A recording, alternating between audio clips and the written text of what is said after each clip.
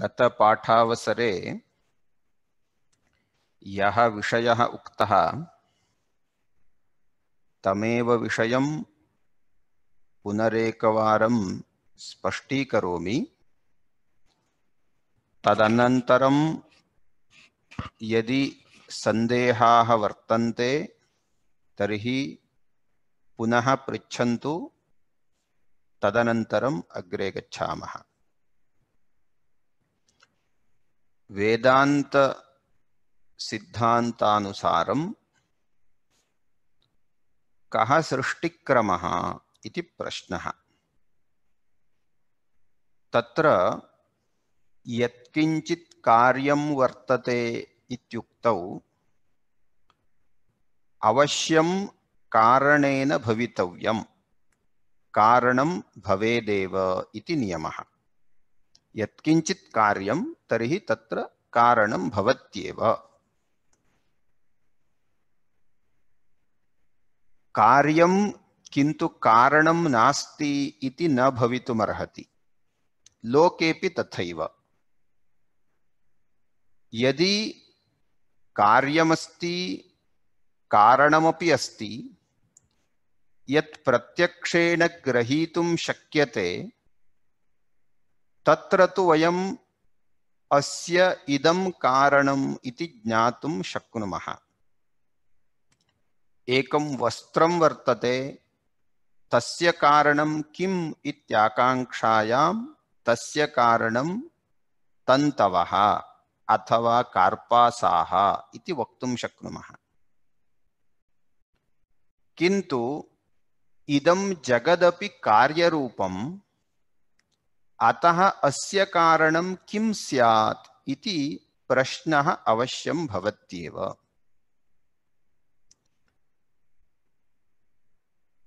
जगति विद्यमानपदार्थानां कारणं तु वयं प्रत्यक्षेण ज्ञातुं शक्नुमः। किन्तु अस्य जगतः कारणं किम् इत्येतत् प्रत्यक्षेण नैव ज्ञातुं शक्यते।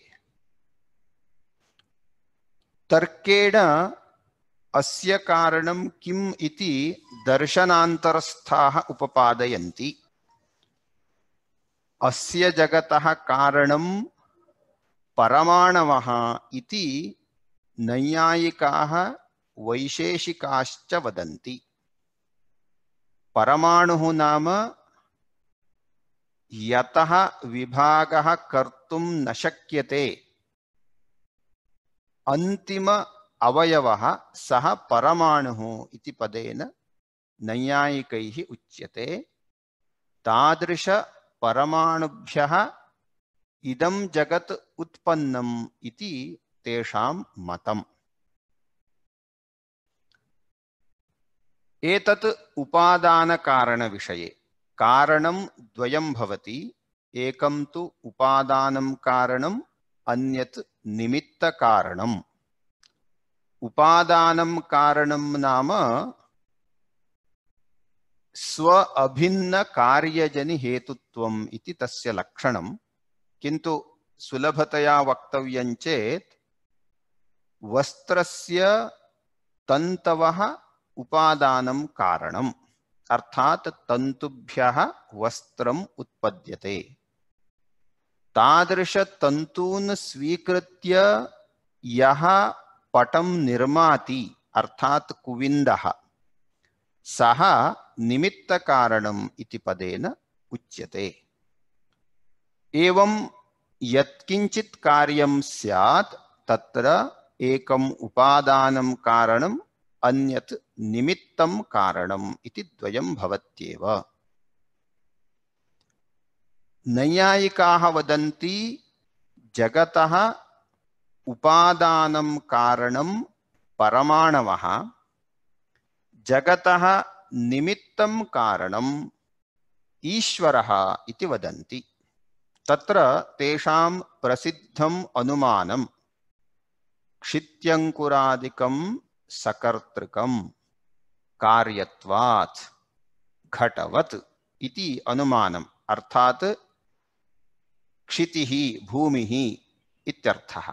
अंकुरम नाम पल्लवादिकं सकर्तृकं कर्तृजन्यम्। अर्थात् निमित्तकारणजन्यं किमर्थम् इति चेत्, कार्यत्वात्। तत् कार्यम् अतः। यथा घटः। तर्हि तस्य कर्ता कः इति प्रश्ने सति, न मनुष्याः, न जीवाः इति ज्ञायन्ते। अर्थात् भूमिं कश्चन जीवः उत्पादितवान् इति नैव वक्तुं शक्यते, किन्तु उपादा निमित्तकारणं तु भवेदेव। तर्हि सः कः स्यात् स एव ईश्वरः अथवा परमात्मा इति ते वदन्ति। अर्थात उपादानं कारणं परमाणवः, निमित्तं कारणम् ईश्वरः एवमेव साङ्ख्याः वदन्ति, जगतः उपादानं कारणं प्रधानम्। इति प्रधानमित्येव एकं तत्त्वमस्ति। पञ्चविंशतिः तत्त्वानि तैः अङ्गीक्रियन्ते। तत्र प्रधानम् इति एकं तत्त्वं। सत्वरजस्तमोगुणानां साम्यावस्था इति एकं तस्य जडस्वरूपमेकं वर्तते। तत् प्रपञ्चस्य उपादानं कारणम्। निमित्तं कारणं तत्र पुरुषः सेश्वरसाङ्ख्याः निरीश्वरसाङ्ख्याः इति वर्तन्ते। सेश्वरसाङ्ख्याः ईश्वरं निमित्तकारणं प्रधानम् उपादानं कारणम् इति वदन्ति। एतत् उभयमपि तर्कप्रमाणेन सिद्धम्।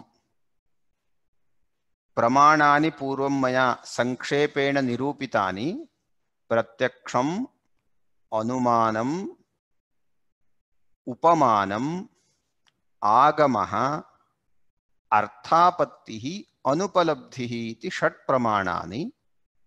तत्र नैयायिकाः चत्वारि प्रमाणानि अङ्गीकुर्वन्ति। प्रत्यक्षम्, अनुमानम्, उपमानम् आगमः इति। साङ्ख्याः योगिनश्च प्रमाणत्रयम् अङ्गीकुर्वन्ति प्रत्यक्षम्, अनुमानम् आगमः इति। साङ्ख्याः वा भवतु नैयायिकाः वा भवन्तु ते जगतः कारणचिन्तनं तर्कप्रमाणेन उपपादयन्ति एवमेव बौद्धाः वर्तन्ते तेपि जगतः कारणं शून्यम् इति वदन्ति तत्र चतुर्धा विभागोऽस्ति तत्र प्रधानः वर्तते माध्यमिकः सः जगतः उत्पत्तिः शून्याद् भवति इति वदति। एवं एते त्रयः अपि दार्शनिकाः तर्कप्रमाणेन जगतः कारणम् उपपादयन्ति। किन्तु तर्कः स्वयं परिपूर्णप्रमाणं न भवितुमर्हति। किमर्थम् इति चेत् तर्कस्य परिमितिरस्ति। अपि च एकः बुद्धिमान् निपुणः तर्केण परमाणवः जगतः कारणम् इति उपपादयति चेत् अन्यः कश्चन तार्किकः परमाणुकारणवादं निराकृत्य तर्कप्रमाणेनैव जगतः कारणं प्रधानम् इत्युपपादयति। अन्यः कश्चन तर्कप्रमाणेन एव जगतः कारणं शून्यम् इत्युपपादयति। अन्यः कश्चन जगतः कारणम् इदं त्रयमपि न इति तर्केणैव उपपादयितुं शक्नोति। अतः जगतः कारणविषये एतैः त्रिभिः अपि यदुपपादितं। तस्मिन् विषये वेदान्तिनाम् अङ्गीकारो नास्ति। किमर्थम् इति चेत्, महाभारते एकः श्लोकः वर्तते, सः बहु प्रसिद्धः। अतीन्द्रियेषु विषयेषु आगमः एव प्रमाणम्। अर्थात श्रुतिः एव प्रमाणम् इति सः श्लोकः वदति। अर्थात प्रकृतिभ्यः अचिन्त्याः खलु ये भावाः न तान् तर्केण योजयेत्। प्रकृतिभ्यः परं यत्तु तदचिन्त्यस्य लक्षणम् इति तस्य श्लो, सः श्लोकः। पुनरेकवारं वदामि। महाभारतस्य शान्तिपर्वणि विद्यमानः अयं श्लोकः। अचिन्त्याः खलु ये भावाः, न तान् तर्केण योजयेत्।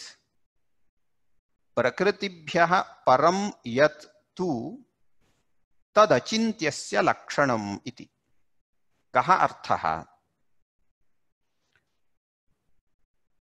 ये भावाः अचिन्त्याः, चिन्तयितुम् अशक्याः, ये पदार्थाः, भावाः नाम पदार्थाः चिन्तयितुं मनसा आलोचयितुम् अशक्याः, ते अर्थाः तर्केण न योजनीयाः।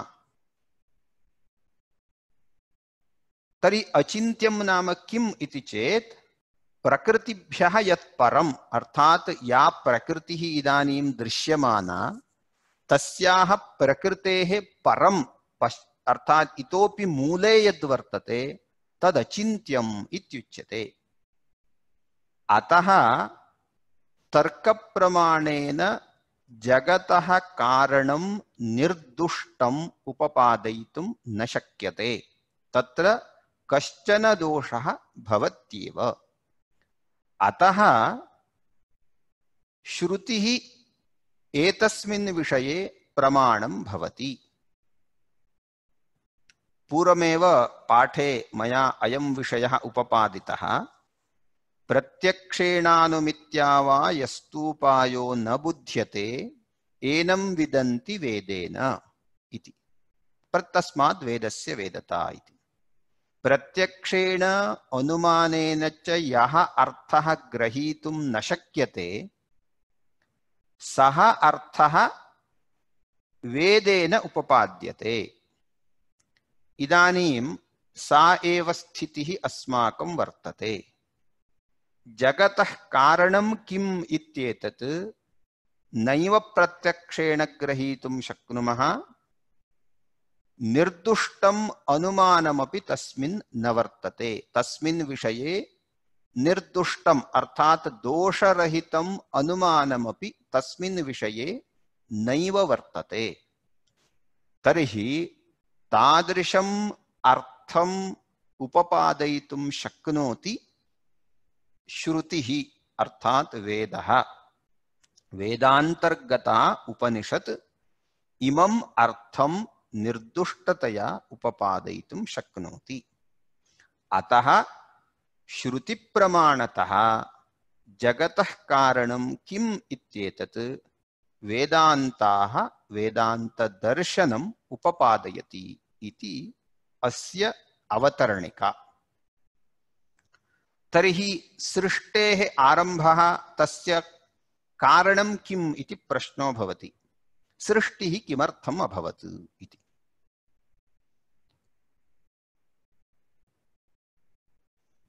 जीवाः अनेके वर्तन्ते। तेषां जीवानां कर्माणि अपि वर्तन्ते।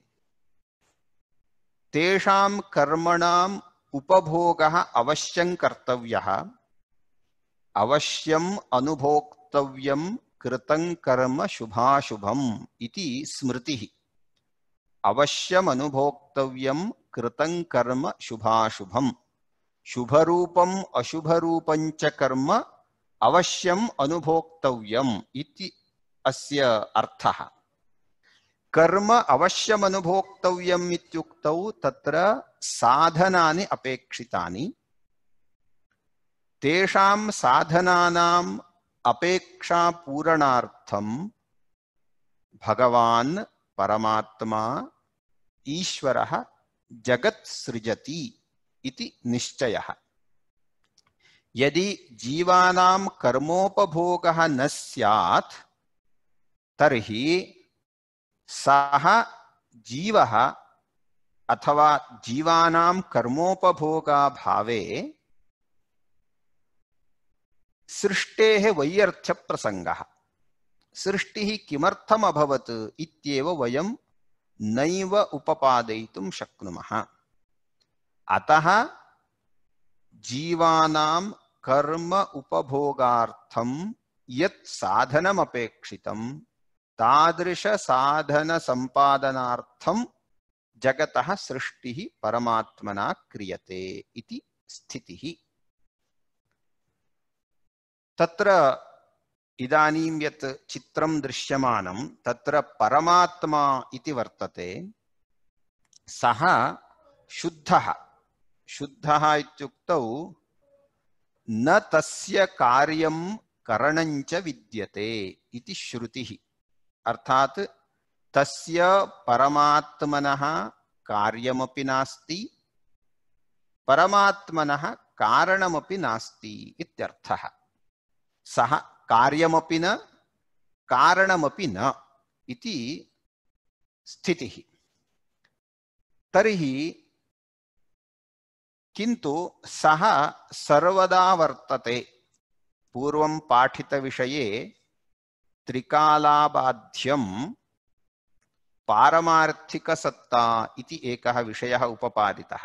अर्थात् व्यावहारिकी सत्ता प्रातिभाषिकी सत्ता, पारमार्थिकी सत्ता इति निरूपणावसरे पारमार्थिकी सत्तायां कः वर्तते इति चेत् परमात्मा एकः एव वर्तते, सः कदापि न नश्यति। अतः सः कार्यमपि न, कस्यचित् कारणमपि न इत्याशयः। अतः परमात्मनः कार्येण, कारणेन वा न कोऽपि सम्बन्धो अस्ति। तर्हि जगतः सृष्टिं कः करोति?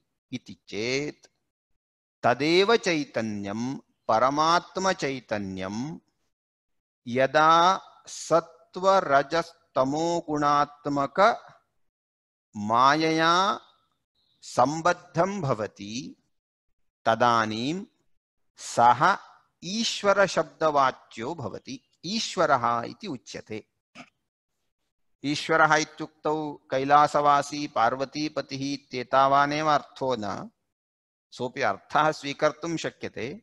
किन्तु ईश्वरः इति अत्र चैतन्यं, परमात्मचैतन्यं माया, अनयोः सम्बन्धरूपेण स्वीकृतम् एकं तत्त्वम् ईश्वरः इति। सः ईश्वरः जगतः सृष्टि करिष्यति इति स्थितिः।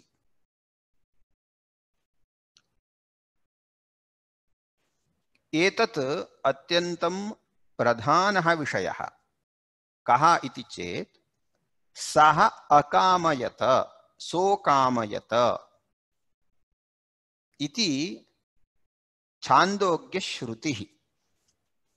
बहुत्र एतादृश वाक्यानि वर्तन्ते तैत्तिरीयकेपि वर्तते छान्दोग्येपि वर्तते, सर्वत्र यत्र यत्र सृष्टिः वर्तते, सर्वत्रापि एतादृश सदैक्षत, सोकामयत इत्यादि वाक्यानि वर्तन्ते।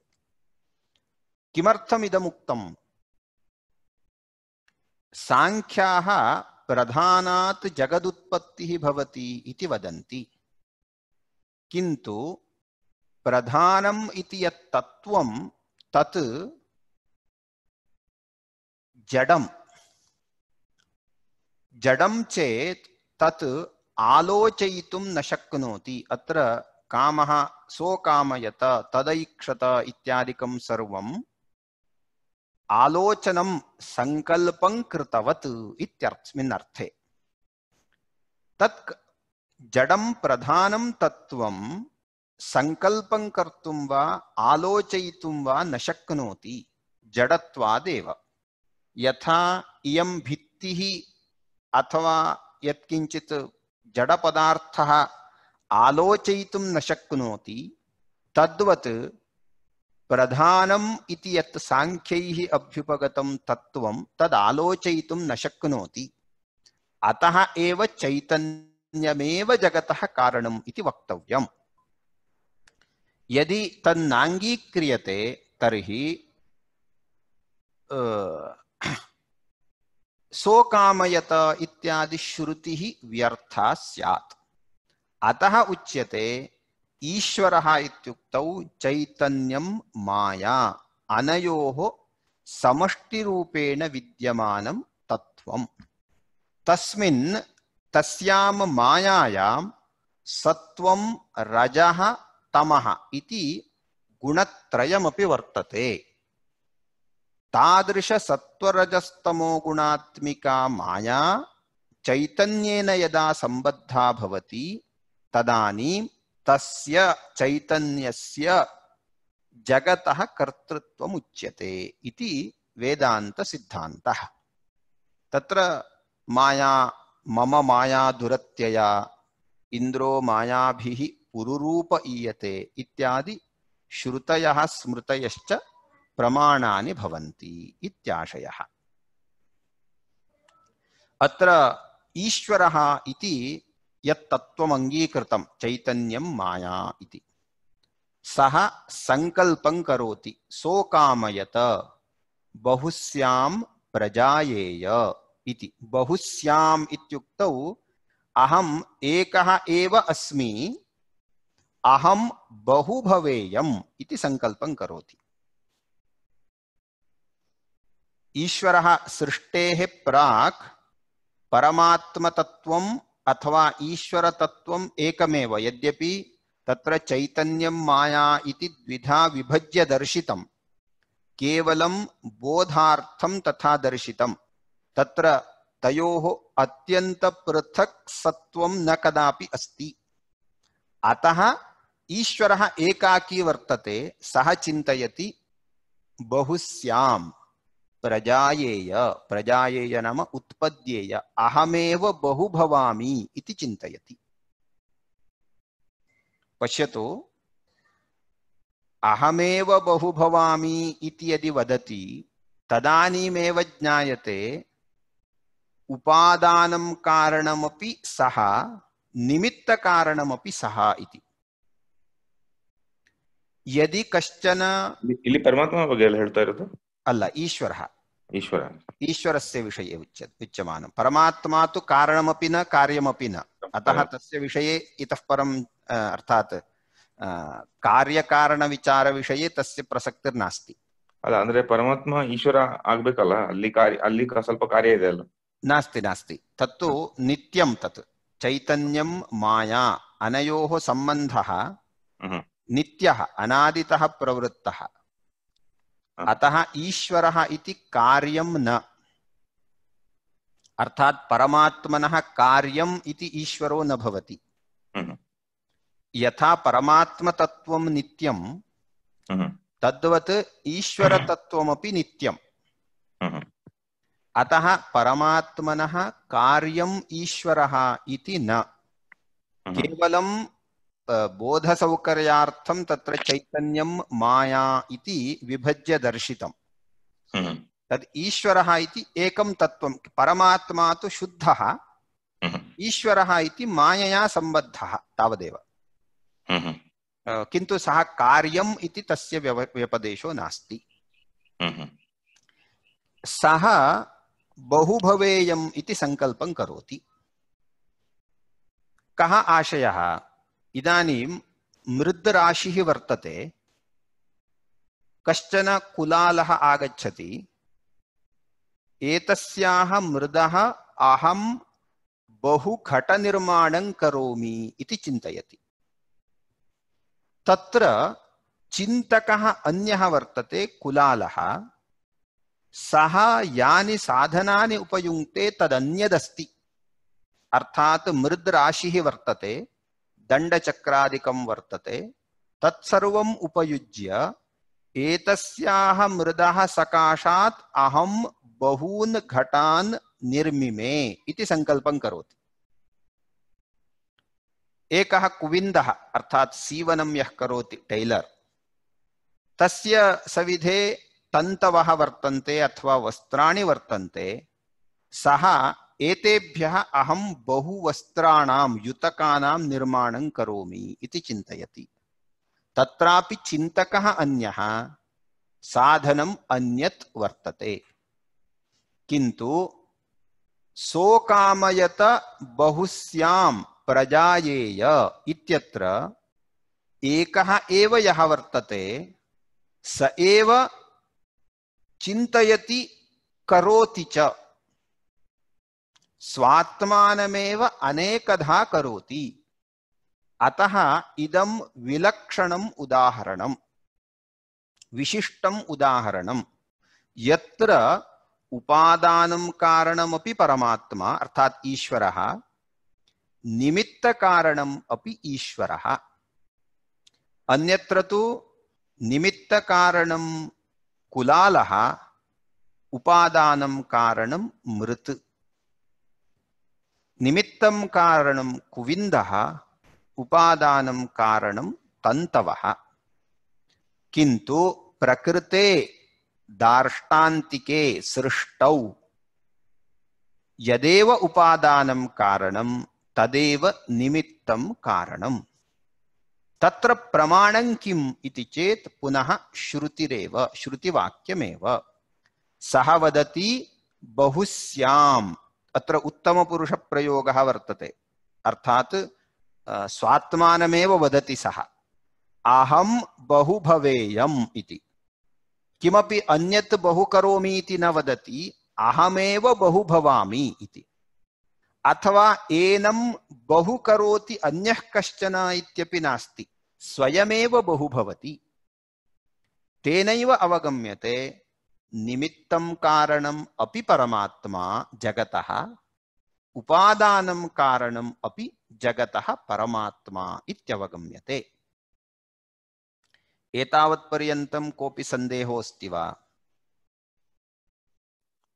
ಏನು ಹೇಳಿದ ಹಾಗೆ ಅರ್ಥ ಮಾಡ್ಕೋತೀನಿ ನೋಡ ಮುಂದೆ ಹೇಗಾಗುತ್ತೆ ಅಕ್ಸಿಯಮ್ಯಾಟಿಕ್ ಅಂಡರ್ಸ್ಟ್ಯಾಂಡಿಂಗ್ ಅಗ್ರೆ यदा एवं संकल्पं करोति परमात्मा, तदा जगतः उत्पत्तिः आरभ्यते, सृष्टिः आरभ्यते इत्याशयः। कथम् इति चेत्, अपञ्चीकृत पञ्चभूतानाम् उत्पत्तिः। तत्र आत्मनः आकाशः इति वर्तते। अत्रापि बहूनां दार्शनिकानां विप्रतिपत्तिरस्ति, विरोधोऽस्ति। आकाशः उत्पद्यते इति न केऽपि दार्शनिकाः अङ्गीकुर्वन्ति। किन्तु वेदान्तसिद्धान्ते आकाशस्यापि उत्पत्तिः वर्तते। सामान्येन अस्माकं प्रश्नो भवति परमाणवः खलु। परमाणुभ्यः खलु जगदुत्पद्यते। आकाशस्य परमाणवः न सन्ति, अतः आकाशः न उत्पद्यते इति सामान्येन तर्को भवति। किन्तु यदुत्पद्यते, तत् न कोऽपि नियमः वर्तते। उदाहरणार्थं कश्चन गुणः वर्तते। माधुर्यम् इति कश्चन गुणः। सङ्गीतं सङ्गीते सुश्राव्यता इति कश्चन गुणः। सः गुणः किं परमाणुभ्यः उत्पद्यते? नास्ति। परमाणूनाम् अभावेपि माधुर्यस्य उत्पत्तिरस्ति। कदाचित् इदं मधुरम् इदं मधुरं न इति वयं वदामः। तर्हि यदुत्पद्यते तत् परमाणुभ्यः एव उत्पद्यते इति नास्ति नियमः। तन्नियमानुसारं श्रुतेः बलात् वेदान्तसिद्धान्ते आकाशस्यापि उत्पत्तिः अङ्गीक्रियते। अतः आत्मन आकाशः आकाशाद् वायुः उत्पन्नः। वायोः अग्निः उत्पन्नः। अग्नेः आपः, जलम्। अग्नेरापः इति तैत्तिरीयश्रुतिः। अद्भ्यः पृथिवी उत्पन्ना उच्यते। इमानि पञ्चभूतानि। तत्र अय, अत्र अस्मिन् चित्रे वर्तते। आकाशः वायुः तेजः आपः पृथिवी इति एतेषां भूतानां सरणिरस्ति। तत्र विद्यमानगुणाः, असाधारणगुणाः अपि उत्पद्यन्ते।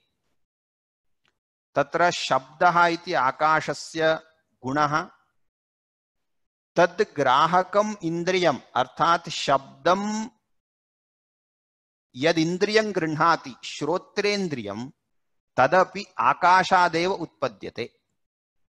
अग्रे, अर्थात् यदा आकाशस्य सृष्टि भूतानां सृष्टिः जाता, तत्र आकाशस्य असाधारणः गुणः शब्दः, वायोः स्पर्शः, तेजसः रूपम्, अपां रसः, पृथिव्याः गन्धः इत्यसाधारणगुणाः।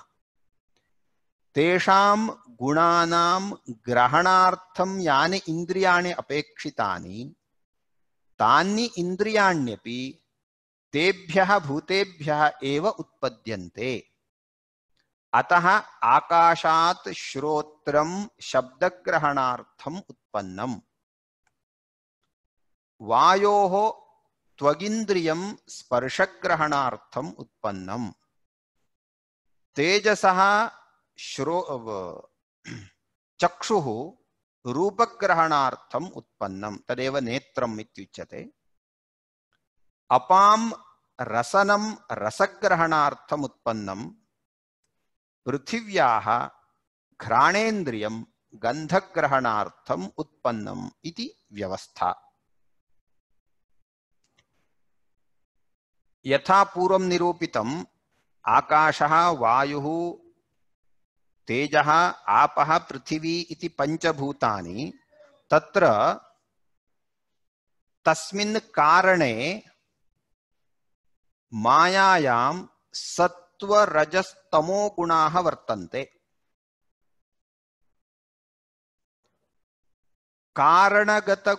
कार्ये सङ्क्रामति इति नियमः। पुनरेकवारं वदामि। कारणगतगुणः कार्ये सङ्क्रामति कारणम् ईश्वरः। ईश्वरो नाम चैतन्यमाययोः समावेशः। तस्यां मायायां सत्त्वरजस्तमो गुणाः वर्तन्ते। ते गुणाः कार्ये आकाशादिपञ्चसु भूतेषु अपि सङ्क्रामन्ति तत्रापि दृश्यन्ते, अनुभूयन्ते इत्यर्थः। तत्र आकाशादिभूतेषु अपि तर्हि सत्त्वरजस्तमो गुणाः वर्तन्ते इत्याशयः। कारणे विद्यमानाः गुणाः कार्येपि भवन्ति। सत्त्वरजस्तमो गुणाः मायायामपि वर्तन्ते। ते गुणाः कार्ये आकाशादिषु अपि अनुभूयन्ते इत्यर्थः। तत्र आकाशादिषु विद्यमानेभ्यः, सत्त्वगुणेभ्यः इन्द्रियाणि उत्पन्नानि। आकाश, वायु, तेज, आपः, पृथिवी इति यानि पञ्चभूतानि वर्तन्ते, तेषु पञ्चसु भूतेषु विद्यमान सत्त्वगुणेभ्यः श्रोत्रादीनि इन्द्रियाणि उत्पन्नानि व्यवस्था। एतत् कथं ज्ञातम्? अर्थात् सत्त्वगुणेभ्यः एव श्रोत्रादीनि इन्द्रियाणि उत्पन्नानि इति कथं ज्ञातम् इति चेत् तत्र एका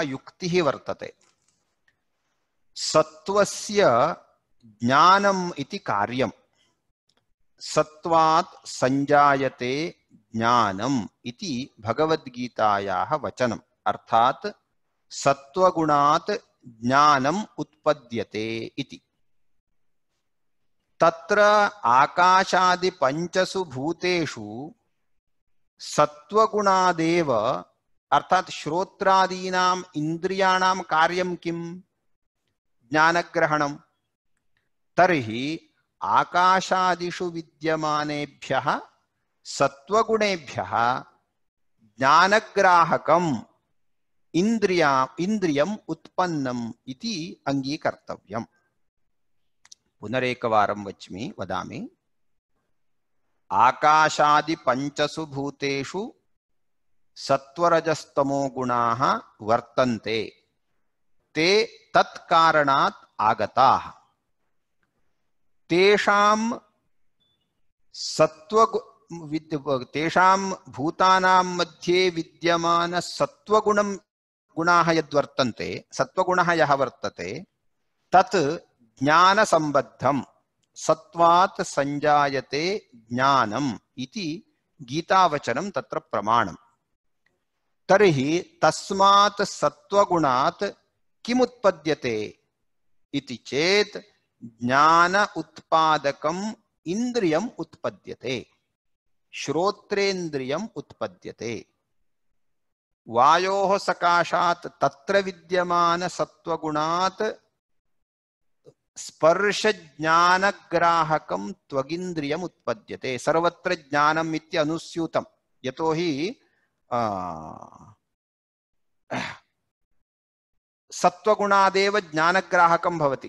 त्वगपि ज्ञानं ददाति, श्रोत्रमपि ज्ञानं ददाति, चक्षुः अपि ज्ञानं ददाति।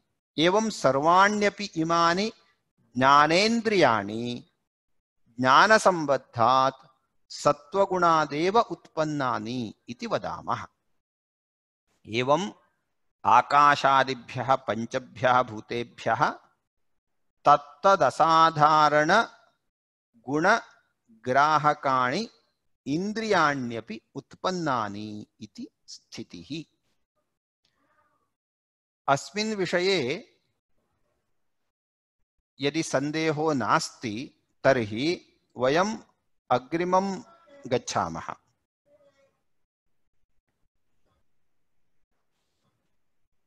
कोऽपि सन्देहः अस्ति वा? नास्ति।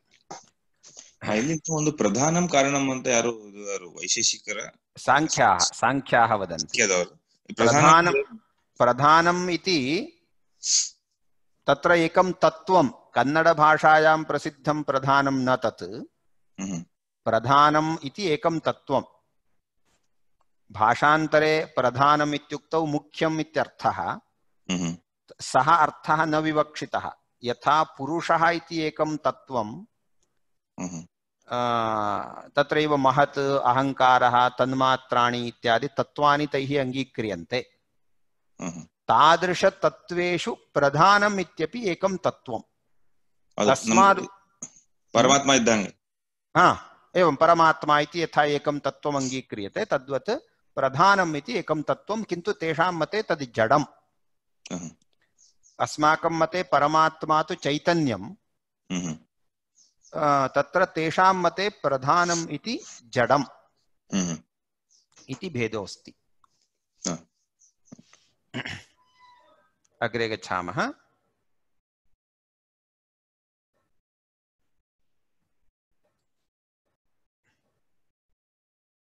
एतानि पूर्वं निरूपितानि। आकाशः वायुः अग्निः आपः पृथिवी इति यानि पञ्चभूतानि, तेषाम् इतोपि मिश्रणं न जातम्। अर्थात ते पृथक्, पृथगेव वर्तन्ते, तानि भूतानि पृथगेव वर्तन्ते, इदमेव शुद्धं रूपम् इत्युच्यते, तदेव अपञ्चीकृतभूतम् इत्युच्यते। अर्थात पंचीकरणं मिश्रणं न जातम्। यदा तानि भूतानि अपञ्चीकृतौ एव वर्तन्ते तदानीं तेषु विद्यमान पृथक् पृथक् सत्वगुणेभ्यः इन्द्रियाणि तत्तदसाधारण गुणग्राहकाणि इन्द्रियाणि उत्पन्नानि इति पूर्वं निरूपितम्। तेषु एव विद्यमानेभ्यः समष्टि सत्वगुणेभ्यः अन्तःकरणम् उत्पन्नम् इत्युच्यते। पश्यन्तु, यदा सृष्टिः व्यवस्थितरूपेण निरूप्यते तदुत्तरं वयं सर्वेषामपि पदार्थानाम् उत्पत्तिः कस्मात् अभवत् इत्येतत् स्पष्टं निर्देष्टुं शक्नुमः। अतः इदानीं तु किञ्चित् कदाचित् इन्द्रियाणां विषये उच्यते कदाचित् अन्तःकरणस्य विषये कदाचित् भूतानां विषये इति दृश्येत। किन्तु यदा समग्रां सृष्टिव्यवस्थां जानीमः, तदुत्तरं प्रत्येकं पदार्थस्यापि उत्पत्तिः कुतः जाता इत्येतद् वयं स्पष्टं ज्ञातुं शक्नुमः। तत्र आकाशः, वायुः, अग्निः, जलं, पृथिवी इति यानि पञ्चभूतानि वर्तन्ते, तेषु सत्त्वगुणा गुणः वर्तते, तत्र मिलितेभ्यः सर्वेभ्यः, सर्वेषु भूतेषु विद्यमान मिलितसत्त्वगुणेभ्यः अन्तःकरणम् उत्पन्नम् किमर्थमेवमुच्यते अथवा अत्र किं प्रमाणम्? इति पुनः प्रमाणं विना वयं न अङ्गीकुर्मः। अयं विशिष्टः सिद्धान्तः, इयं कल्पना भवितुमर्हति वा इति। कल्पना न भवितुमर्हति। अर्थात् दर्शने प्रसिद्धम्। एकाकिनी हि प्रतिज्ञा हि प्रतिज्ञातं न साधयेत् इति। अर्थात् वयं केवलं प्रतिज्ञां कृत्वा अर्थात् एवं एतेभ्यः इदमुत्पन्नम् इति वदामः नास्ति। तत्र अस्माभिः प्रमाणम् अवश्यं दर्शनीयं श्रुतिः अर्थात् वेदो वा प्रमाणत्वेन दर्शनीयः? तर्को वा प्रमाणत्वेन दर्शनीयः, प्रत्यक्षादि प्रमाणानि वा तत्र दर्शनीयान्येव। यथा व्यष्टिभूतानां सत्त्वगुणेभ्यः इन्द्रियाणि उत्पन्नानि इत्यत्र प्रमाणं दर्श्यते, अर्थात् तत्तत् असाधारणगुणग्राहकाणि इन्द्रियाणि ज्ञानसम्बद्धत्वात् तेषां भूतानां सत्त्वगुणेभ्यः उत्पन्नानि इति उक्तवन्तः। तद्वदेव अन्तःकरणम् एकेन एव इन्द्रियेण सम्बद्धम् इति न। चक्षुः रूपेणैव सम्बद्धं चक्षुः शब्दं न गृह्णाति। श्रोत्रं शब्दमेव गृह्णाति, न रसं ग्रहीतुं शक्नोति। रसः रसनं, रसमेव ग्रहीतुं शक्नोति न स्पर्शम्। एवं तत्तदिन्द्रियाणि, तत्तद्भूतानाम् असाधारणगुणानेव ग्रहीतुं शक्नुवन्ति। किन्तु अन्तःकरणम् एतैः पञ्चभिरपि इन्द्रियैः ये विषयाः गृह्यन्ते, तैः सर्वैः अपि सम्बद्धं वर्तते। अन्तःकरणं केवलं चक्षुषा सम्बद्धम् इति न।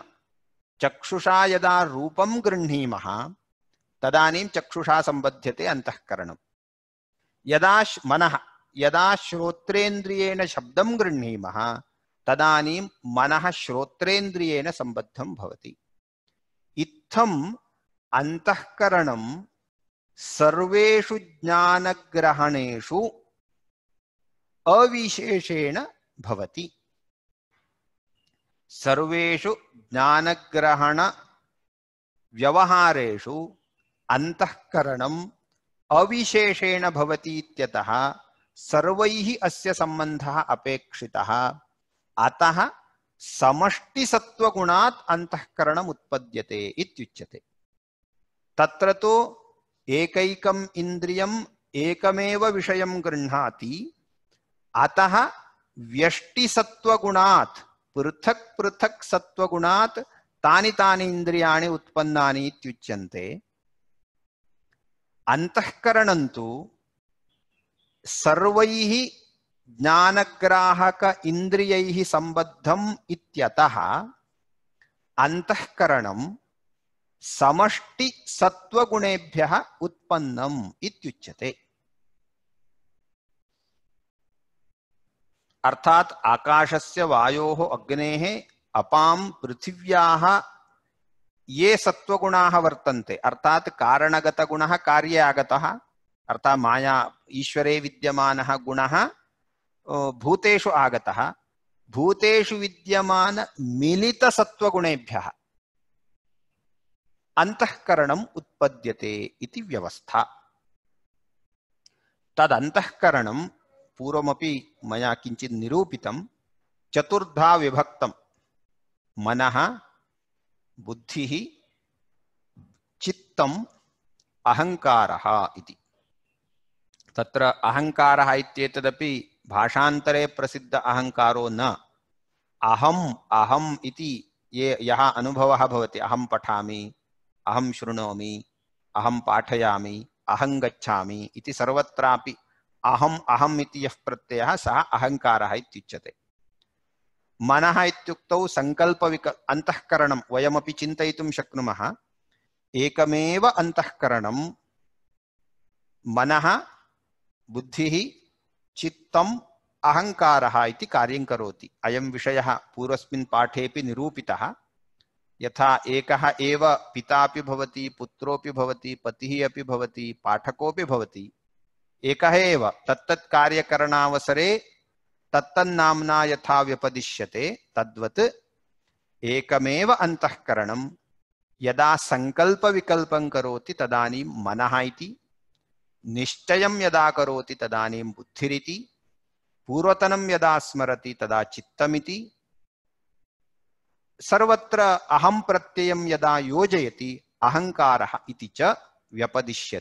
इति स्थितिः। एतादृशम् अन्तःकरणं समष्टि सत्वगुणेभ्यः उत्पद्यते इति द्वितीया सृष्टिव्यवस्था, अर्थात द्वितीया नाम अग्रिम सृष्टिव्यवस्था। इत्थं ज्ञानेन्द्रियाणि उत्पन्नानि, अन्तःकरणम् उत्पन्नम्।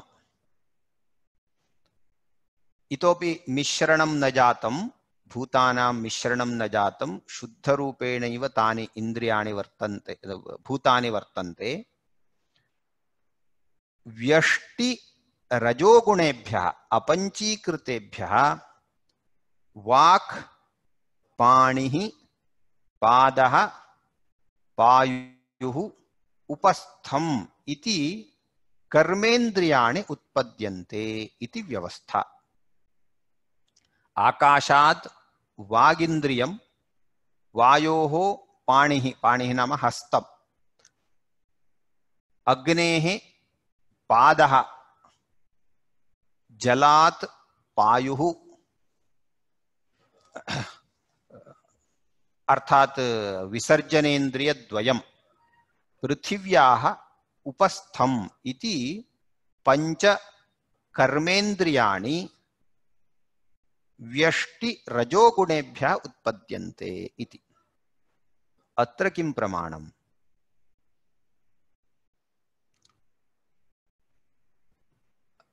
सत्वात् संजायते ज्ञानं रजः कर्माणि भारत इति गीतायाः वचनम्। अर्थात् कर्मेन्द्रियं रजोगुणं कर्म कारयति। लोकेपि तथा अस्ति कश्चन सर्वदा जिज्ञासुः भवति, पठन् भवति, ज्ञानविषयकचिन्तनं कुर्वन् भवति। सः सात्विकः इत्युच्यते। यः कश्चन सर्वदा एक्टिव् भवति, सक्रियः भवति, कार्यं कुर्वन्नेव भवति, सः राजसिकः इत्युच्यते। अर्थात् कर्मकरणम् इत्येतत् रजोगुणस्य कार्यम्।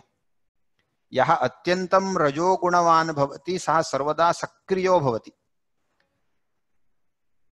अतः रजोगुणस्य कार्यं किम् इत्युक्तौ कर्मकरणम्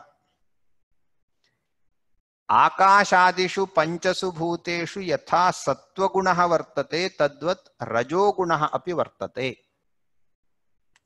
तादृश रजोगुणेभ्यः व्यष्टिरजोगुणेभ्यः वागादीनि कर्म कर्तुम् अपेक्षितानि इन्द्रियाणि उत्पद्यन्ते।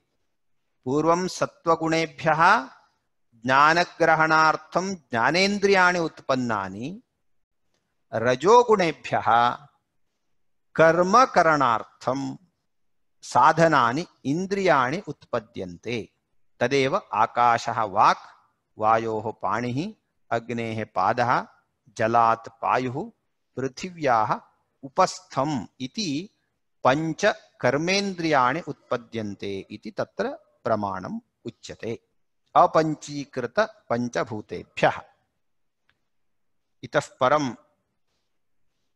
पूर्वं व्यष्टिसत्त्वगुणेभ्यः, ज्ञानेन्द्रियाणि समष्टिसत्त्वगुणेभ्यः अन्तःकरणम् व्यष्टिसत् रजोगुणेभ्यः कर्मेन्द्रियाणि व्यष्टि रजोगुण समष्टिरजोगुणेभ्यः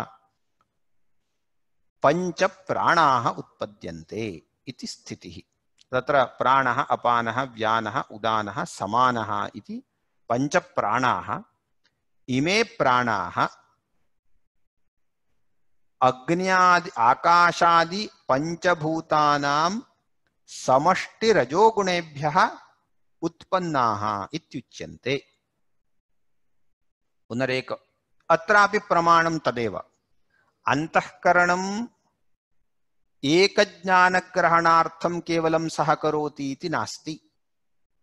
सर्वैः इन्द्रियैः सत् ज्ञानं गृह्णाति अन्तःकरणं। ज्ञानग्रहणाभ्यासे अन्तःकरणं सर्वैः इन्द्रियैः सम्बध्यते, अतः समष्टिसत्त्वगुणेभ्यः उत्पन्नमित्युक्तम्। एवमेव प्रकृते प्राणाः एकस्मिन् कार्यकरणे एव सम्बद्धं भवति न। पादः कार्यं पद्भ्यां गच्छेदित्युक्तौ अपि तत्र प्राणः अपेक्षितः। हस्तः आददाति तत्र प्राणः अपेक्षितः, प्राणशक्तिः इत्युच्यते। प्राणो नाम केवलम् उच्छ्वासनिश्वासः न। प्राणशक्तिः अपेक्षिता। एवं वागिन्द्रियं यदि सम्भाषणं कुर्यां, तत्रापि प्राणशक्तिः अपेक्षिता एव। इत्थं सर्वेषु अपि कर्मेन्द्रियेभ्यः, कर्मेन्द्रियेषु, सर्वेभ्यः कर्मेन्द्रियेभ्यः कर्म कार्यकरणावसरे पञ्चप्राणाः ते ते तत्तत् कार्यं कुर्वन्ति, अपेक्षिताः एव भवन्ति इति कृत्वा समष्टिरजोगुणेभ्यः पञ्चप्राणाः उत्पन्नाः इत्युच्यन्ते। व्यष्टिरजोगुणेभ्यः कर्मेन्द्रियाणि, समष्टिरजोगुणेभ्यः पञ्चप्राणाः उत्पद्यन्ते इति स्थितिः वर्तते इति सिद्धान्तः। तत्र सर्वत्रापि प्रतिज्ञाकृता प्रमाणञ्च प्रदर्शितम्। अयं प्राणः पञ्चधा, प्राणः, अपानः, व्यानः, उदानः, समानः इति पञ्चप्राणाः वर्तन्ते। तेषां प्राणानाम् उत्पत्तिः आकाशादि पञ्चभूतानां समष्टि रजो, समष्टिः नाम मिलितेभ्यः इत्यर्थः।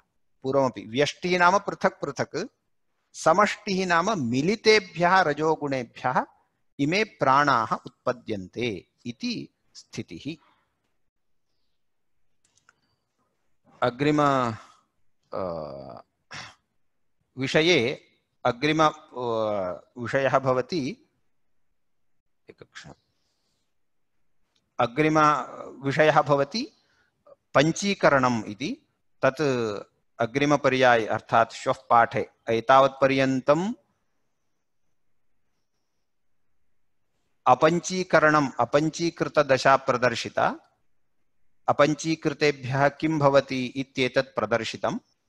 इतः परम् एतेषां अपञ्चीकृतस्थितौ किं किं भवेत् तत्सर्वम् उत्पाद्य पञ्चीकरणप्रक्रिया भवति। पञ्चीकरणं यदा भवति तदुत्तरं जगदुत्पद्यते इति वयं वक्तुं शक्नुमः। अतः अपञ्चीकृतव्यवस्थाग्रहणं किञ्चिदिव क्लेशाय। अतः पुनरेकवारं निमेषद्वये सर्वमुक्त्वा श्वस्तनपाठार्थं पुनः पञ्चीकरणं पश्यामः। परमात्मा, तदुत्तरम् ईश्वरः, माया चैतन्ययोः सम्बन्धः, तत्त्वसत्तरजस्तमो गुणाः वर्तन्ते। ईश्वरात् पञ्चभूतानि आत्मनः आकाशः सम्भूतः आकाशाद्वायुः, वायोः अग्निः, अग्नेरापः, अद्भ्यः पृथिवी ते तानि सर्वाण्यपि भूतानि पृथक् पृथक् भवन्ति। सर्वेष्वपि भूतेषु पञ्च सत्वरजस्तमो गुणाः भवन्ति।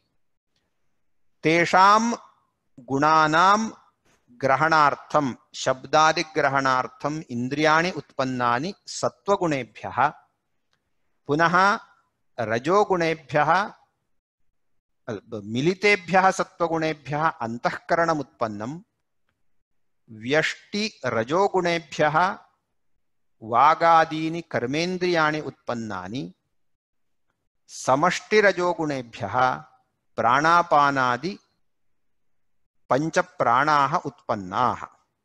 तत्र सत्वात् सञ्जायते ज्ञानम् इति गीतावाक्यम् इन्द्रियाणामुत्पत्तौ अन्तःकरणस्य च सत्त्वगुणेभ्यः उत्पत्तौ प्रमाणम् रजः भारत इत्येतत् रजोगुणेभ्यः, व्यष्टिभ्यः, मिलितेभ्यश्च कर्मेन्द्रियाणां, पञ्चप्राणानाम् उत्पत्तौ कारणम् इत्यत्र प्रमाणं प्रदर्शितम्।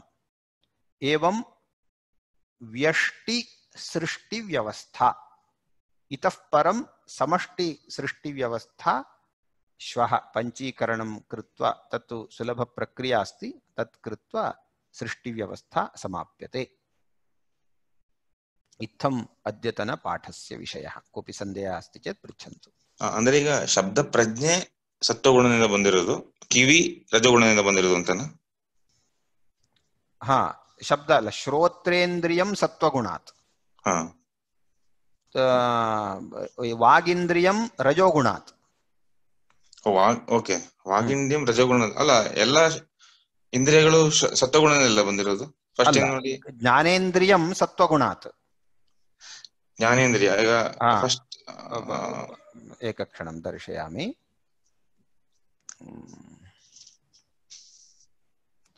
ಹಾ ಅತ್ರ ಇದಾನಿಂ ಯದ್ದರ್ಶಿತಂ श्रोत्रम् इत्यस्ति खलु एतत् सत्त्वगुणात् उत्पन्नम् ओके यतोहि ज्ञानग्रहणम् अत्र लिखितमस्ति पश्यन्तु व्यष्टिसत्त्वगुणेभ्यः इत्यस्ति ज्ञानेन्द्रियाणि ज्ञानेन्द्रियाणि सत्त्वगुणेभ्यः उत्पन्नानि आकाशात् श्रोत्रं वायोः त्वक् अग्नेः अक्षि अर्थात् चक्षुः इत्येवं ರೂಪೇಣ ಅಂದ್ರೆ ಅಂದ್ರೆ ಈಗ ಶ್ರೋತ್ರಂ ಅಂದ್ರೆ ಕಿವಿ ಮೂಲಕ ತಾನೆ ಕೇಳೋದು ಅಂದ್ರೆ ಕಿವಿ ರಜೋಗುಣದಿಂದ ಬಂದಿರೋದು ಅಲ್ಲ ಅಲ್ಲ ಅಲ್ಲ ಕಿವಿ ಸತ್ವಗುಣದಿಂದ ಬಂದಿದ್ದು ಹಾ ಅದು ಜ್ಞಾನಗ್ರಹಣಾರ್ಥಂ ಅಪೇಕ್ಷಿತ ಇಂದ್ರಿಯಂ ಖಲು ಕರ್ಮ ಕರ್ತುಂ ಅಪೇಕ್ಷಿತಂ ವಾಗಾದೀನಿ ಪಂಚ ಇಂದ್ರಿಯಾಣಿ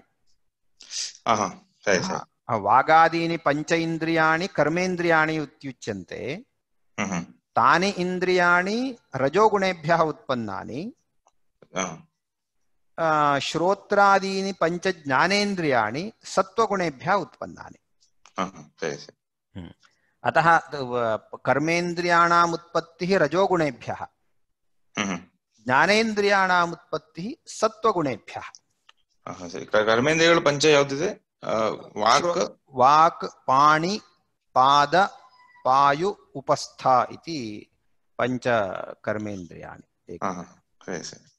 अत्र दर्शितं हा वाक् दृश्यते इदानीं हा वाक् पाणि पाद पायु उपस्थ इति पञ्च कर्मेन्द्रियाणि ಪಾಯು ಅಂದ್ರೆ ಪಾಯು ಅಂತಂದ್ರೆ ಮೂತ್ರ ವಿಸರ್ಜನಾಂಗ ಉಪಸ್ಥ ಉಪಸ್ಥಂ ಅಂದ್ರೆ ಮಲ ವಿಸರ್ಜನಾಂಗ ಓಕೆ एवं पञ्चकर्मेन्द्रियाणि एतस्मात् उत्पन्नानि रजोगुणेभ्यः उत्पन्नानि इत्युच्यते